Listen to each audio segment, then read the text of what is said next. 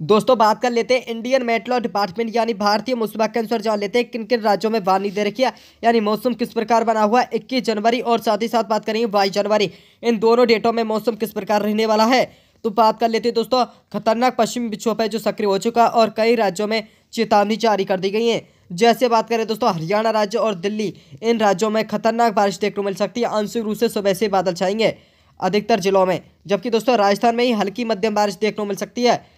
और गुजरात है जो दोस्तों, इन राज्यों में भी शीतल पवले लहरों का प्रकोप है जो जारी रह सकता है, जबकि मध्य प्रदेश में भी हल्की मध्यम बारिश की संभावना बताई जा रही है। उत्तर प्रदेश और बिहार के ये हिस्से दोस्तों, यानी पूर्वी उत्तर प्रदेश और बिहार में मध्यम व हल्की बारिश की संभावना बनी हुई है, घना कोला छाने की संभावना बताई जा रही है।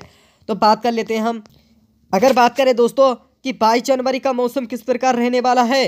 तो बाईस जनवरी को बहुत ही खतरनाक स्थिति में बदल चुका है दोस्तों, मौसम है जो अधिकतर राज्यों में खतरनाक स्थिति बनी हुई है, क्योंकि दोस्तों चक्रवाती तूफ़ान है जो इन राज्यों में प्रवेश कर चुका है और भारी तबाही मचाने वाला है ओले आवृष्टि के साथ साथ खतरनाक बारिश देखने को मिलेगी दोस्तों इन राज्यों में, क्योंकि दोस्तों इन राज्यों में खतरनाक स्थिति बनी हुई यानी ऑरेंज अलर्ट जारी कर देगा जैसे दोस्तों पंजाब, हरियाणा, दिल्ली, इधर से उत्तर प्रदेश के पूर्वी हिस्सा दोस्तों, और उत्तराखंड, हिमाचल प्रदेश और जम्मू कश्मीर।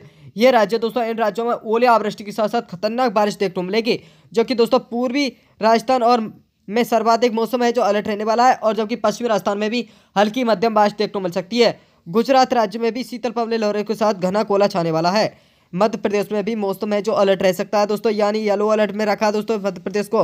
उत्तर प्रदेश की बात करें दोस्तों, पूर्वी उत्तर प्रदेश की तो हल्की मध्यम बारिश की संभावना बनी हुई है, जबकि बिहार राज्य में भी मध्यम बारिश के साथ साथ ओली आवृष्टि और इधर से आंध्र प्रदेश को भी येलो क्षेत्र में रखा दोस्तों, मौसम विभाग ने।